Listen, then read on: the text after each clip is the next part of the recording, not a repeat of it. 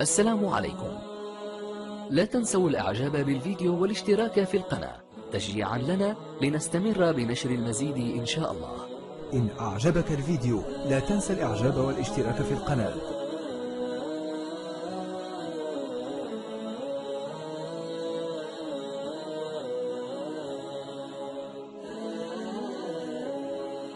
بسم الله الرحمن الرحيم.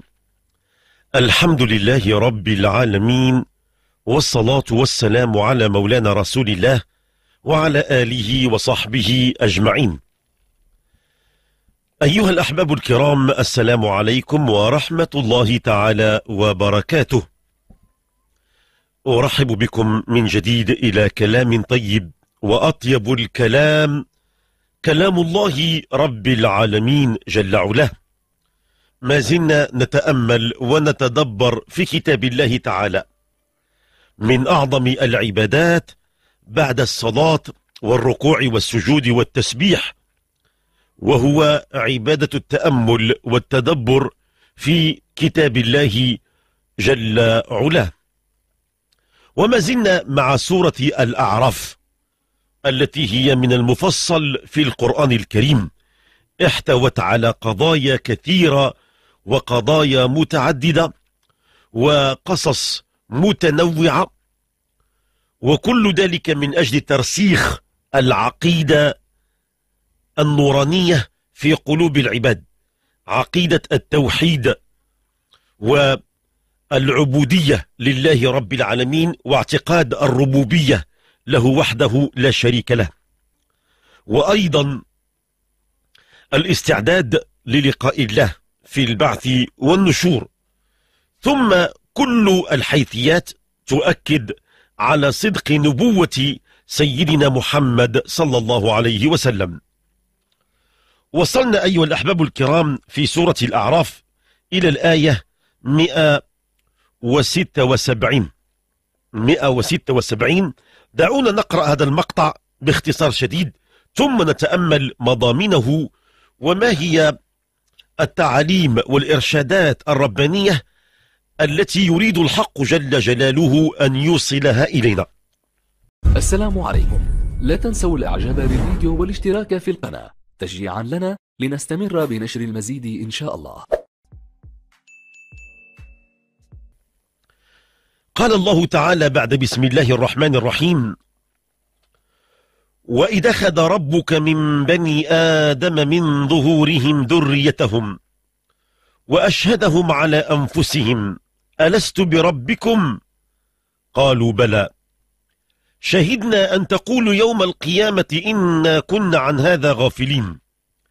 أو تقولوا إنما أشرك آباؤنا من قبل وكنا ذرية ببعضهم أفتهلكنا بما فعل المبطلون؟ وكذلك نفصل الآيات ولعلهم يرجعون. واتل عليهم نبأ الذي آتيناه آياتنا فانسلخ منها فأتبعه الشيطان فكان من الغاوين. ولو شئنا لرفعناه بها ولكنه أخلد إلى الأرض واتبع هواه. فمثله كمثل الكلب إن تحمل عليه يلهث أو تتركه يلهث. ذلك مثل القوم الذين كذبوا بآياتنا.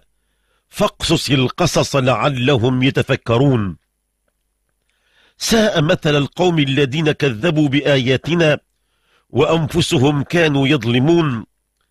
من يهدي الله فهو المهتدي ومن يضلل فأولئك هم الخاسرون. ولقد ذرأنا لجهنم كثيرا من الجن والإنس لهم قلوب لا يفقهون بها ولهم أعين لا يبصرون بها ولهم آذان لا يسمعون بها.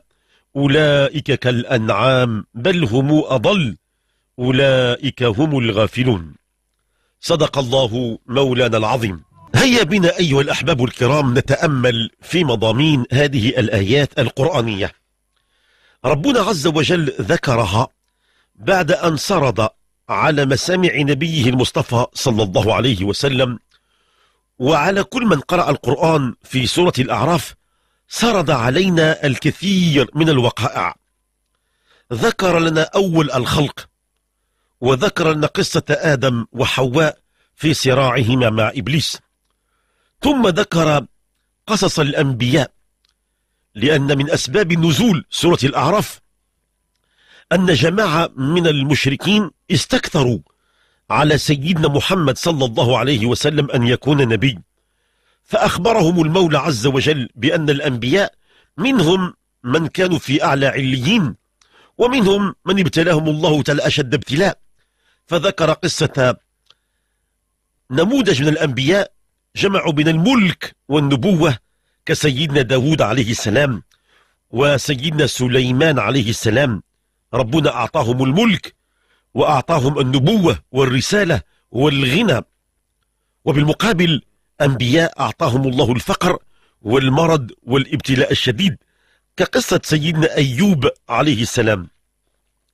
ثم ذكر صراع الأنبياء مع أقوامهم قصة نوح مع قومه التي انتهت بالغرق للمشركين والكافرين وقصة هود مع قومه الذين أيضا سلط الله عليهم ريحا صرصرا عاتية وقصة شعيب قومه قومه وقصة صالح مع قومه وقصة لوط مع قومه وأيضا قصة موسى عليه السلام مع قومه. هؤلاء الأنبياء أشكال وألوان. منهم أربعة عرب. الأنبياء فيهم أربعة عرب. من هم؟ هم صالح نبي عربي وشعيب نبي عربي وهود نبي عربي وسيدنا محمد صلى الله عليه وسلم نبي عربي. وبقية الأنبياء كلهم من أصول أخرى مختلفة ومتنوعة. فالخطاب عالمي الخطاب غير موجه للعرب. الأنبياء العرب فقط أربعة وما تبقى كلهم عندهم جنسيات مختلفات أشكال وألوان ولغات وأجناس ولهجات. بمعنى أن الخطاب الرباني هو خطاب عالمي خطاب شمولي. بعد أن فرغ ربنا عز وجل بذكر كل هؤلاء الأقوام وهؤلاء الجنسيات وهذا التاريخ العميق نحن أبناء اليوم نحن أبناء هذا الزمن المعاصر. لا ندري ما الذي وقع أيام زمان في التاريخ القديم إلا ما عثر عليه بعض علماء الأركيولوجيا. لكن القرآن العظيم يعطينا التفاصيل الأحداث القديمة فالزمن القديم نحن نعلمه بتفصيل. نعلم منذ خلق الله تعالى آدم بل أكثر من هذا. نعلم قبل أن يخلق الله آدم ماذا كان. كل ذلك ربنا عز وجل فصله في كتابه العزيز. فلا نشعر بالغربة من الماضي. الماضي نعلمه كله. حتى المستقبل. أيضا نعلم ماذا سوف يكون. لأن القرآن العظيم سيحدثنا عن آخر الزمان وعن البعث وعن النشور. ثم يحدثنا عن الحساب ويحدثنا عن دار الخلد جنة الفردوس وعن جهنم والعياذ بالله. وحدثنا عن كل التفاصيل المستقبلية. فالمؤمنون أي واحد مؤمن لابد أن يكون متوازن نفسيا لأنه عنده علم ودراية بالماضي الصحيق وعنده علم ودراية بالمستقبل البعيد. إذا كان الإنسان عنده هذا التوازن بين الماضي والحاضر ستجده متوازن نفسيا. لا يشعر بقلق ولا باكتئاب ولا بخوف ولا يشعر بغربة. في حين أن الغير المؤمن الذي لا يعلم من أين أتى ولا يعلم تاريخه ولا تاريخ آبائه وأجداده ولا يعلم أي إلى أين سوف يمضي وسوف يرحل يشعر بأنه غريب. لهذا نسبة الانتحار موجودة في العالم الغير المتدين. الآن يقال بأن أعلى نسبة انتحار لم تعد في الدول الإسكندنافية بل هي في الصين. الصين أكثر دولة فيها نسبة انتحار. لماذا؟ لأن هناك آه، آه، إلحاد وعدم دين. ما فيش دين كتاب. ما عندهم آه، أهل كتاب. عندهم ثقافات مثل كونفوشيوس ومانوشيوس الكونفوشيوسية وغيرها من الثقافات الروحية والفلسفية والمانوية والمزدكية والبوذية وغيرها. فهؤلاء ثقافات فلسفية روحية. لهذا نجد بأن الناس عندهم دائما صراع وعندهم قلق المؤمن بطبعه أنه يشعر بالارتياح وبالتوازن وبالشبع لأن الله سبحانه وتعالى فصل له كل شيء في القرآن العظيم والقرآن الكريم كما قال الله تعالى فيه تفصيل كل شيء كل شيء من رطب ولا يابس إلا في كتاب مبين. ففي هذه الآيات التي نبتدئ بها ماذا قال الله تعالى؟ بعد بسم الله الرحمن الرحيم قال وإذ أخذ ربك من بني آدم من ظهورهم ذريتهم أو ذريتهم حسب القراءات وأشهدهم على أنفسهم ألست بربكم؟ قالوا بلى شهدنا أن تقولوا يوم القيامة إنا كنا عن هذا غافلين أو تقولوا إنما أشرك آباؤنا من قبل وكنا ذرية من بعدهم أفتهلكنا بما فعل المبطلون؟ هاتين الآيتين عظيمتين وجليلتين. إنهما يتحدثان عن أول الخلق. دعونا ننسى الواقع المرير الذي نعيشه الآن. دعونا ننسى واقعنا البئيس عند بعض الناس عندهم أزمات وعندهم قلق. اتركوا هذا الواقع للحظة. دعونا نرحل إلى الزمن البعيد. هذه الآيات تتحدث عن الزمن البعيد. أول الخلق حينما خلق الله آدم سوف يخلق كل البشر. كلنا جميعا خلقنا يوم خلق الله آدم. أي نعم كل واحد منا قد خلق. حينما خلق الله آدم خلقنا جميعا. نحن عندنا تاريخ ازدياد موحد في وقت واحد. ولكن فيما بعد ربنا عز وجل كل جماعة من البشر أعطاهم الله تعالى زمان ومكان وبيئة جغرافية عاشوا فيها. ولكن في الأصل لما خلق الله آدم خلق كل البشر. هاتين الآيتين كسمهم العلماء هما آيات البيعة الكبرى. البيعة. تعلمون ولله المثل الأعلى. أي حاكم أو ملك أو سلطان إذا أراد أن ينصب على عرشه فكينصب وكيدير واحد الاحتفال اسمه البيعة. الناس يبايعونه على أنه سلطان وعلى أن أمره مطاع وأنهم معه في الرخاء والشدة.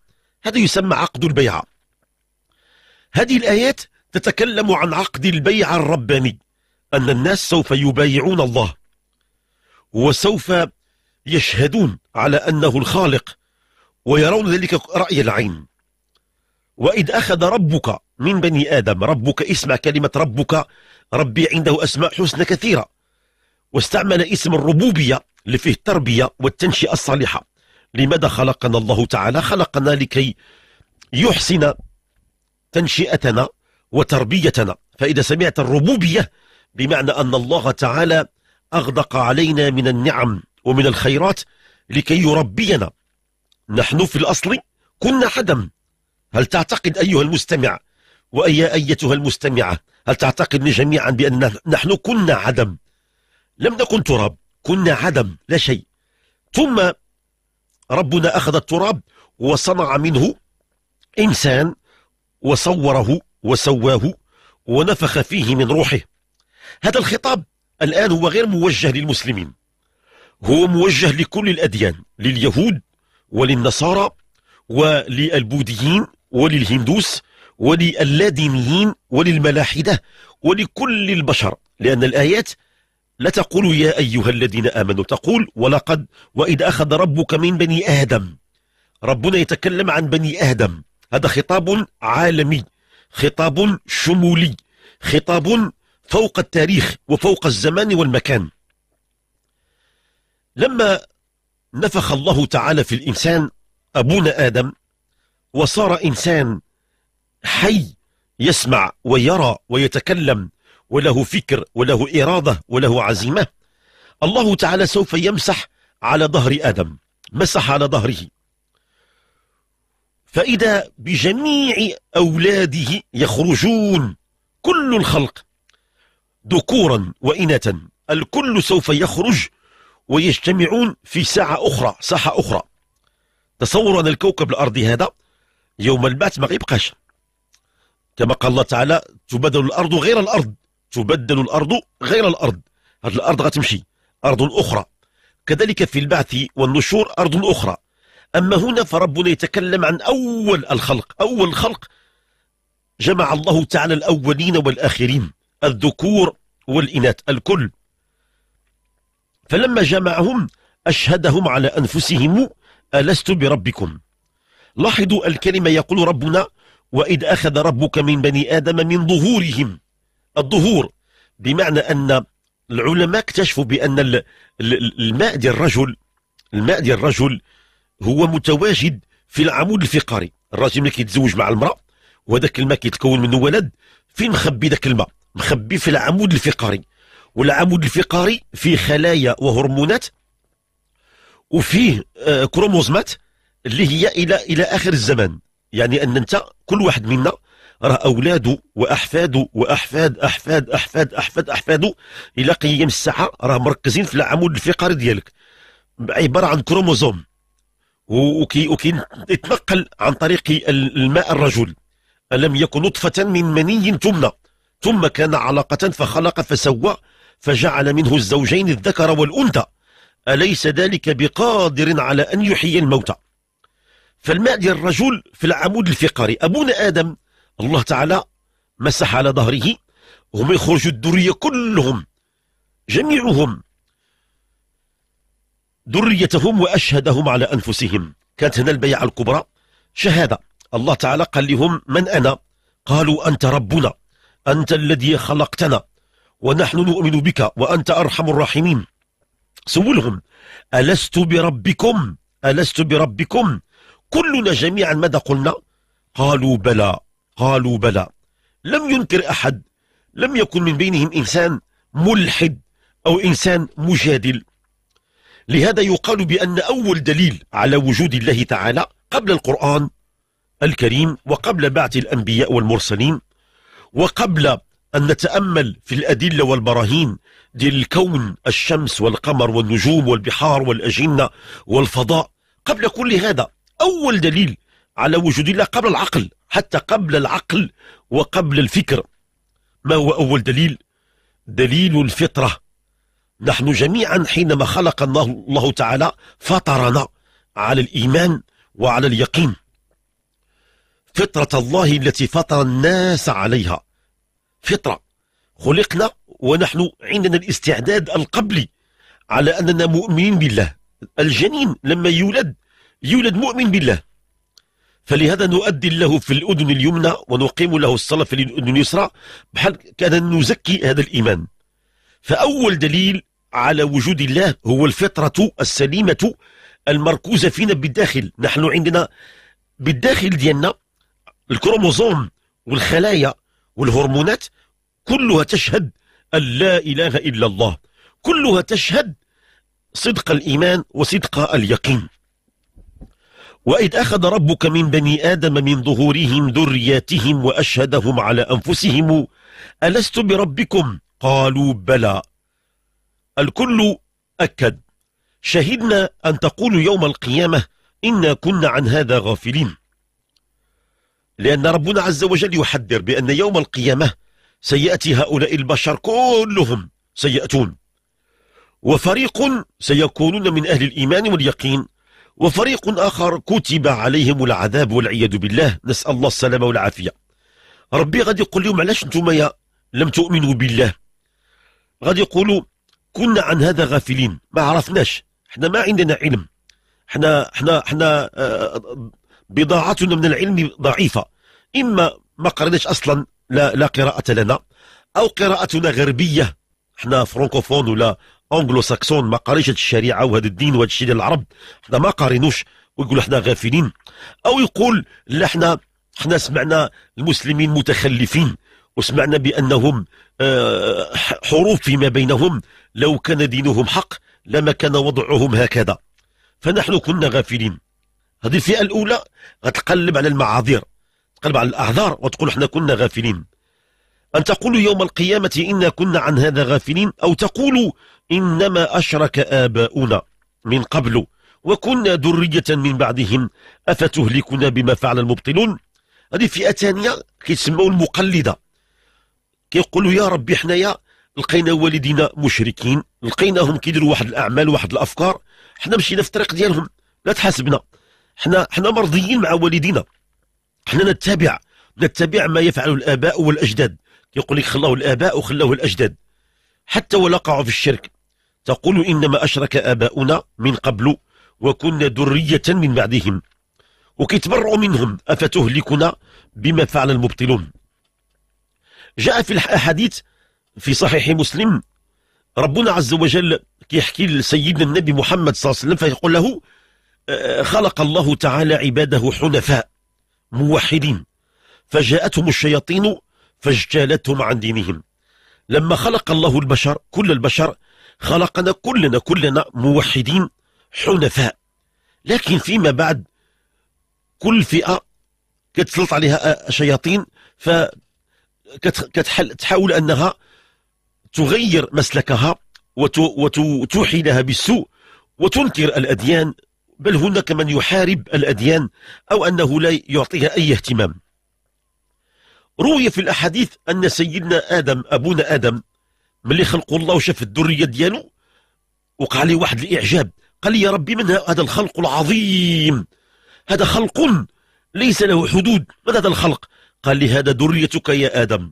منك سوف يخرجون من ظهرك. هذا كل ما يخرجوا من الظهر ديالك. فلما رآهم وجد فئة عن يمينه وفئة عن شماله. فقال يا رب من هؤلاء الذين هم عن يميني؟ قال هؤلاء أهل الإيمان. سوف يأتون كتابهم بيمينهم ومأواهم الجنة. قال لي هؤلاء يا ربي اللي هم على الشمال شكون هما؟ قال لي هؤلاء من ذريتك وهم سوف يؤتون كتابهم بشمالهم. هؤلاء سوف يكفرون وسوف يسخرون ومآلهم العذاب والعياذ بالله. ثم رأى في الوسط من هؤلاء يا رب؟ قال هؤلاء كلهم من ذريتك وقد استوت سيئاتهم وحسناتهم. هذم أهل الأعراف. جمعوا بين الخير وبين السوء. ثم غادي يشوف سيدنا آدم أشياء كثيرة من بينها سوف يرى. واحد الخلق غريب. أشكال وألوان. من بينهم غادي يلقى واحد الشخص في واحد النور. غادي يقول يا رب من ذلك الشخص الذي فيه نور ينبعث قال ذاك ابنك اسمه داود وسوف أجمع له بين الملك والنبوة والقضاء. سيكون قاضيا وسوف يكون ملكا وسوف يكون نبيا وقد يكون حربي قائد جيش. وسوف يحكم بالعدل في زمانه. فلما اطلع لقى بأن داود يعيش قليل عمره ستين سنة. قال يا ربي هذا عمر قصير. قال لي كم أعطيتني يا رب أنا؟ كم أعطيتني؟ قال لي أعطيتك يا آدم ألف سنة. سيدنا آدم عاش ألف سنة إلا قليلا. فقال لي يا ربي أنا أعطيني ألف سنة وهذا ابني وغادي تعطيه الملك وتعطيه النبوة وتعطيه القضاء وتعطيه القيادة العسكرية يلا ستين سنة. قال لي يا ربي خذ خذ من عمري وأعطيه. قال لي كم تريد أن تتبرع عليه يا آدم من عمرك؟ قال يا ربي أعطيه أربعين سنة. فمنح آدم داود أربعين سنة قبل أن يخلق. ولما عاش آدم ما شاء الله أن يعيش وجاءت الملائكة لتقبض روحه. جاء ملك الموت يقبض روحه. قال لي آدم أنا لازال عمري طويل لازل لازال أمامي أربعين سنة. فقال لي الله تعالى يا آدم ألا تذكر أنك قد تبرعت بأربعين سنة لابنك داود؟ قال لم أفعل. قال لي يا آدم ألا تذكر؟ قال لا أذكر. فقال الله تعالى فنسي آدم فنسيت ذريته وجحد آدم وجحدت ذريته. إلى أن قال الله تعالى وكذلك نفصل الآيات ولعلهم يرجعون. كل هذا الكلام ربنا يذكرنا به. هو مجرد تذكير. من قرأ الفلسفة عند أفلاطون وعند أرسطو الفلسفة اليونانية ماذا تقول في عمقها؟ في مجال المعرفة. أفلاطون يقول المعرفة تذكر والجهل نسيان. راه كلنا عارفين. راه ما كاينش واحد عارف وواحد ما عارفش. كل شيء عارف. ذاك اللي عارف غير تذكر وذاك اللي ما عارفش راه نسي المعرفة تذكر والجهل نسيان. لهذا جاء القرآن الكريم وبعث الله الأنبياء والمرسلين كم عدد الكتب التي بعثها الله تعالى. بعث الله تعالى 103 كتاب مقدس. الكتب المقدسة التي بعثها الله للعباد منذ آدم عليه السلام بداية من إدريس يسمى الشيث عليه السلام إلى سيدنا النبي محمد بن عبد الله صلى الله عليه وسلم. بعث الله تعالى 103 كتب مقدسة. آخرها كان التوراة والإنجيل والقرآن هما الثلاثة. وقبل الإنجيل والتوراة والقرآن كان هناك مئة كتاب مقدس. كان هناك صحف إبراهيم وكان هناك زبور سيدنا داود وكان وكان وكان. ربنا بعث الأنبياء. كم من الأنبياء؟ بعث الله تعالى آه، ألف و آه، بل مئة ألف وأربع وعشرين ألف. مئة وأربع وعشرين ألف. مئة وأربع وعشرين ألف نبي. كلهم بعثهم الله تعالى. عدد الأنبياء. ولم يذكر فقط في القرآن إلا خمسة وعشرين نبي. وإلا فإن عدد الأنبياء مئة ألف زائد أربع وعشرين ألفا. هكذا عدد الأنبياء. كل هذا لماذا؟ ليذكروا الناس بالعبودية لله. وكل الكتب اندثرت ولم يتبقى منها صحيحا سوى كتاب واحد فقط لا ثاني له وهو القرآن الكريم الذي بين أيدينا الآن. وكذلك نفصل الآيات لعلهم يرجعون. ثم قال تعالى واتل عليهم نبأ الذي آتيناه آياتنا فانسلخ منها فأتبعه الشيطان فكان من الغاوين. ولو شئنا لرفعناه بها ولكنه أخلد إلى الأرض واتبع هواه. ربنا سبحانه وتعالى سيحكي لنا حكاية غريبة وهي عن أقوام أعطاهم الله في الأول الإيمان. بعض الأشخاص في التاريخ أعطاهم الله الإيمان وأعطاهم الله تعالى نور الدين وأعطاهم الله الفقه وأعطاهم الله تعالى الحكم حكمة واشتهروا بين الناس بأنهم فقهاء علماء أجلاء. لكن في فترة زمنية من أعمارهم سوف ينسلخون من الدين. إذا كان واحد ما عرف والو وكان منسلخ من الدين عنده عذر. لكن ربك يتكلم هنا على أناس غادي يعطيهم الله العلم وغادي يعطيهم الإيمان. وغادي يعطيهم النور ديال الفقه. وغادي يبقوا صالحين واشتهروا بين الناس بالصلاح. حتى وصلوا لواحد الفترة الزمنية من أعمارهم وسوف ينحرفون. وهؤلاء في أزمنة كثيرة ومتعددة. أزمنة لا تعد ولا تحصى. هؤلاء الأقوام شوف الكلمة اللي قال الله تعالى واتلوا يا محمد اتلوا عليهم نبأ الذي آتيناه. من هو؟ بعض العلماء قالوا ربما قد يكون آه، شخص من بني إسرائيل كان أيام زمان آه، بعوراء. قيل بأنه كان من علماء بني إسرائيل اسمه بلعم ابن أبار أبر بلعم ابن أبر هو رجل آه، من بني إسرائيل. لما سئل النبي الكريم عن ذلك قال هو رجل هما أشكال وألوان. من بينهم هذا الرجل من بني إسرائيل كان من علمائهم وفقهائهم وكان قد ظهر عليه الصلاح وظهر عليه الإصلاح. ثم الناس يتبركون به وقيل بأن الله تعالى أطلعه على الاسم الأعظم السر ديال الاسم الله الأعظم. وكان مجاب الدعوة إذا دعا الناس يستجيبون دعوة والله يستجيب دعوته. وكان يقد الناس الناس يقدمونه في الشدائد. إذا كانت إذا كان الجفاف كيقدموا للاستسقاء إذا كان شي كرب كيقدموا دائما العطاء وكان فيه الخير كيتوسموا فيه الخير.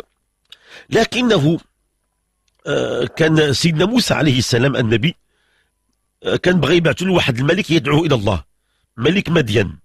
كان في آه، مدين وقال لي أنت غنختارك لأنك رجل فاضل وصالح وعالم غتمشي عند ملك مدين وتدعوه إلى الله.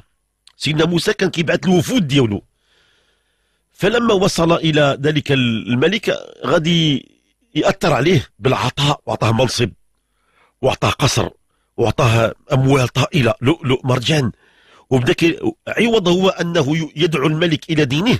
صار الملك يدعو هو إلى عقيدته الفاسدة. فغير دينه.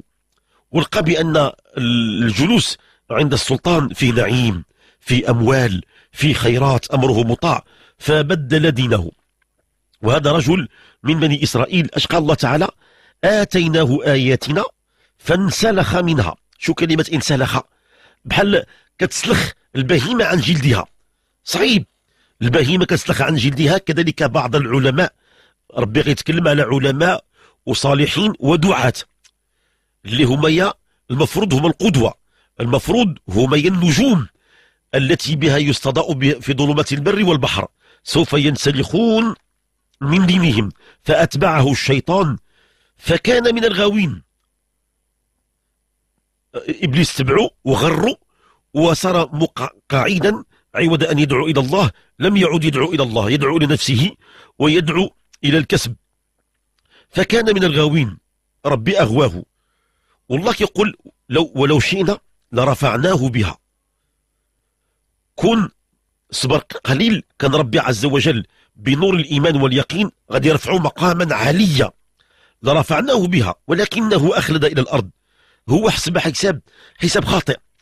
هو شاف الأرض شاف الكرسي شاف المنصب شاف الشهرة شاف المال ونسي مقام الله تعالى. ولو شئنا لرفعناه بها ولكنه أخلد إلى الأرض واتبع هواه.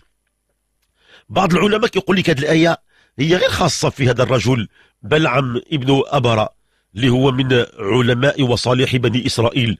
لبات سيدنا موسى عليه السلام الملك مدين؟ بل ينطبق على عدد كبير من الشخصيات في التاريخ. ففي كل زمان هناك أشخاص. مثلا في عهد النبي الكريم صلى الله عليه وسلم كان رجل يسمى أمية بن أبي الصلت. أمية بن أبي الصلت هذا أدرك النبي الكريم أدركه وكان رجل عالم. ملي جاء سيدنا النبي وسيدنا النبي كان أمي لا يقرأ ولا يكتب وكان يرعى الغنم حتى أبعث الله إليه من يعلمه هو جبريل. هو يتسمى معلم الوحي علمه شديد القوة ذو مرة. لكن أمية بن أبي الصلت هذا كان عالم. رجل عنده علاقات مع اليهود من أهل الكتاب يجلس مع الأحبار ويتعلم منهم جميع ما يتعلق باليهودية. وكان كيجلس مع النصارى. اللي عندهم كتاب مقدس مع الرهبان وتعلم كل شيء. ثم كان كيجلس مع الشعراء والأدباء والمفكرين في زمانه وصار إنسان عنده فكر شمولي وعنده علم بالشرائع المتقدمة. وكان يقول كلام عظيم كان كي كي كي كيمجد الألوهية وكي يتكلم على الألوهية بواحد الكلام جميل جدا فقالوا هذا أقرب للنبي. لكنه حينما أدركه زمن رسول الله صلى الله عليه وسلم وعلم آياته التي والمعجزة التي أتى بها هذا الرجل طمس الله على بصيرته. عوض أنه ينصر سيدنا النبي محمد بما جاء به من نور القرآن الذي يتفق مع عند الأديان. نراه قد سار إلى موالاة المشركين والكفار وناصرهم وكان يمدح المشركين. ويهجو النبي صلى الله عليه وسلم. حتى إن في غزوة بدر غزوة بدر سيموت كثير من المشركين وغادي ينظم قصيدة عظيمة رأت فيها أهل بدر من المشركين بمرتات بليغة. فقالوا كيف أن هذا الرجل الكلام اللي قالوا في المشركين ما قالوش المشركين في أنفسهم؟ النبي الكريم لما وصله هذا الخبر ماذا قال؟ قال عن أمي بن أبي الصلت إنه ممن آمن بلسانه ولم يؤمن قلبه. لم يؤمن قلبه. هذا الرجل آه، لم يشرح الله صدره للإسلام فهو ينطبق عليه هذه الآية. واتلو عليهم نبأ الذي آتيناه آياتنا فانسلخ منها فأتبعه الشيطان فكان من الغاوين. ولو شئنا لرفعناه بها ولكنه أخلد للأرض واتبع هواه. فالعلماء قالوا الآية عامة. في كل زمان وفي كل مكان هناك شخصيات هكذا الله يسترنا ويستركم جميعا. ونسأل الله تعالى أن يختم لنا وإياكم بالحسنى ويختم لنا وإياكم بحسن الخاتمة. هناك شخصيات كثيرة في التاريخ كانوا علماء كانوا صالحين كانوا دعاة وحتى وصلوا للقمة ثم إذا هم يغيرون يغيرون قناعاتهم ويبدلون ما أنزل الله تعالى ويوالون خصوم الأديان. ما هي عاقبتهم؟ قال الله تعالى أخلد إلى الأرض واتبع هواه فمثله كمثل الكلب إن تحمل عليه يلهث أو تتركه يلهث. ربي شبه هؤلاء بالكلاب الكلب الذي يلهث الكلب الذي حتى الكلاب أنواع وأشكال. بلا يتكلم الله على الكلب ديال أهل الكهف غيمدحوا غادي يقول لنا ويقولون ثلاثة رابعهم كلبهم ويقولون خمسة سادسهم كلبهم رجما بالغيب ويقولون سبعة وثامنهم كلبهم. كلبهم كلبهم كلبهم. ربنا لماذا يكرر هذا الكلب كثير في القرآن؟ في سياق المدح.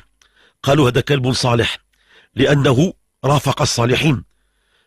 الكلب إذا رافق الصالحين صار صالحا.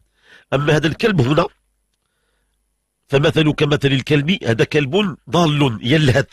إن تحمل عليه يلهث أو تتركه يلهث. حتى قيل بأن آه هذا الرجل الذي هو من بني إسرائيل بلعم بن أبرة قالوا بأنه كيتم غادي ولسانه طيح ليه لسانه طيح وكان يتسرب بالصليب كل ما يتعلق بالريق ديالو كيخرج منه. وهكذا كان أيضا أمي بن السلط من علامات الذي يغير دينه ويبدل دينه كيعود كيلهت كيقلب على المادة كيقلب على الهمزة كيقلب على على الحاجة اللي فيها فيها المنفعة. وكينسى بأنه ضيع رأس المال كله اللي هو الإيمان بالله سبحانه وتعالى. ثم قال ربنا ذلك مثل القوم الذين كذبوا بآياتنا فاقصص القصص لعلهم يتفكرون. الله تعالى أعطانا كذا مثل مثل لعدد كبير من الخلق كذبوا بآيات الله. آيات الله موجودة في كل مكان لكنهم كذبوا. فقال لي يا محمد اقصص عليهم القصص الحق. فسيدنا النبي كان ملزت الآية كان كيجمع الناس وكيعاود لهم القصص. مرة كيعاود قصة آدم وحواء مرة كيعاود قصة سيدنا داود عليه السلام مرة كيعاود قصة سيدنا سليمان مرة قصة سيدنا إدريس مرة يحكي قصة هود آه، صالح شعيب فرعون عيسى وكيبقى يقص عاد كيحكي قصص ديال البشر. فربي قال لي يا محمد جلست مع الناس كثر من القصص. فكان النبي الكريم يعقد دائما جلسات. ويعقد مجالس ويقص القصص تنفيذا لأمر الله. فاقصص القصص لعلهم يتفكرون. ساء مثلا القوم الذين كذبوا بآياتنا وأنفسهم وأنفسهم كانوا يظلمون. بمعنى أنهم كيسحبوا كيظلموا الله تعالى أو كيظلموا أهل الأديان أو كيظلموا المؤمنين. قال لك الله الله تعالى لا. وأنفسهم كانوا يظلمون. راه كيظلم نفسه. أي واحد كتلقاه بأنه يسب الدين أو ينتقص من الدين أو يتهجم على الدين أو يقدم تأويلات باطلة للدين هذا يظلم نفسه لأن الله تعالى غني عن العالمين. يريدون أن يطفئوا نور الله بأفواههم ويابى الله إلا أن يتم نوره ولو كره الكافرون. شي واحد بغى يطفئ الشمس بفمه غير والشمس إذا نفخت عليها غطفيها الشمس نور ساطع. هكذا نور الله تعالى. لكن هؤلاء الناس بكل هذه الإجراءات إنما يظلمون أنفسهم. ساء مثلا القوم الذين كذبوا بآياتنا وأنفسهم كانوا يظلمون. ثم قال الله تعالى من يهدي الله فهو المهتدي ومن يضلل فأولئك هم الخاسرون. ما معنى هذا الكلام؟ من يهدي الله فهو المهتدي. الهداية هي أصلا من عند الله. الله تعالى حينما خلق البشر خلق فيهم الهداية. كلنا لما فتحنا عيوننا على الأرض وخرجنا من بطون أمهاتنا عندنا الهداية. ف وبالمقابل أعطانا الله الوسوسة الشيطانية. عندك صراع. كتوصل سير المراهقة عندك صراع بين الإيمان وبين الشك. اللي كيقلب على الإيمان الله تعالى يعينه. من أراد الهداية الله يهديه. لكن اللي كيقلب على الشك وكيقلب على على على النقد اللاذع وكيقلب دائما على على على الإفساد الله يتركه لنفسه. ومن ثم يجد الخسران. من يهدي الله فهو المهتدي. إنك لا تهدي من أحببت ولكن الله يهدي من يشاء. الهداية أصلا هي من عند الرحمن. لولا رحمة الله ما اهتدينا. كان بعض الصالحين كتلقى كيشكر الله نهار كامل وكيشكر الله. اللهم لك الشكر اللهم لك الحمد. كيقول لي لما تشكر الله؟ هل أعطاك طعام؟ أعطاك شراب؟ قال لي لا أنا ما وصلتش هذا المستوى. أنا كنشكر الله تعالى اولا على شكرة الإيمان به. باقي ما وصلت المسألة أعطاني طعام وشراب وأعطاني زوجة وأولاد وأعطاني والدين وإخوة وأحباب وأعطاني نعيم كثير. هذا كله باقي ما وصلت له. أنا باقي كنشكر على على النعمة الأولى. ما هي؟ هي أنه صيرني مؤمنا. لولا رحمة الله ما كنت مؤمن. وإذا كنت غير مؤمن ذلك هو الخسران المبين. من يهدي الله فهو المهتدي ومن يضلل فأولئك هم الخاسرون. ولقد ضرأنا لجهنم كثيرا من الجن والإنس. نسأل الله السلامة والعافية. في مقامات أخرى ربك يتكلم على الجنة وكيقول بأنه خصص لها عباد مكرمين صالحين بلا عد ولا حصر. هنا في هذا السياق لأنه سياق, سياق العتاب. الله تعالى غيتكلم على نار جهنم. ربنا في سياق خطاب أهل الإيمان وأهل اليقين كيتكلم عن الجنة والفردوس خالدين فيها أبدا لا يبغون عنها حولا لكن السياق هنا يتكلم على الذين حب أحبوا الضلال فصاروا للخسران ولقد ضرأنا لجهنم كثيرا من الجن والإنس. غيتلقاو الجن والإنس غيتلقاو في النار. هو كيف في الدنيا الجن موجود لكن لا نراه لكن هو يرانا. إنه يراكم وقبيله من حيث لا ترونهم. ما كتشوفوهمش كنخافوا منهم؟ في جهنم والعياذ بالله ربي غادي يجمع الإنس والجن وبعضهم يرى بعضا مباشرة. خلقة مخيفة. حتى إن الجن سيخافون من الكافرين. الجن غيعود يخاف من الكافر لأن صورته مفزعة ومقلقة ومقرفة. ولقد درأنا لجهنم كثيرا من الجن والإنس. لهم قلوب لا يفقهون بها ولهم أعين لا يبصرون بها ولهم آذان لا يسمعون بها. أولئك كالأنعام بل هم أضل أولئك هم الغافلون. يختم ربنا عز وجل هذا المقطع وكأنه يريد أن يستجيج فينا الرغبة في الإصلاح. هذا العتاب. غايته أن الله تعالى يوقظ الغافلين منا. راه مرة مرة كتصيبنا الغفلة. والغافلين كثيرين من من بيننا. حتى في وقتنا هذا ما أكثر الغافلين. ربنا كيقول يا عباد الله ألم أعطيكم قلوب؟ كاين أهل الإيمان كيأمن بالقلب. القلب عامر بالإيمان. كيسمع كلام الله كيخشع. فيه الرحمة فيه ولكن هؤلاء حتى قلوبهم لا يفقهون بها. ولا يعقلون بها. ثم أعطاهم الله العيون. إحنا عندنا عيون. حل عينك مزيان. شوف كل من حولك يدل على أن الله هو الخالق وهو سيد الوجود. الشمس القمر النجوم الكواكب البحار الأشجار. شوف ولادك الذرية. شوف نفسك. شوف راسك في المرآة. وفي أنفسكم أفلا تبصرون. لكن البعض هذا العين ديالو ما كيستعملهاش. يلا كيستعملها في المتاع الخاص ديالو. شهوات وملذات ونزوات.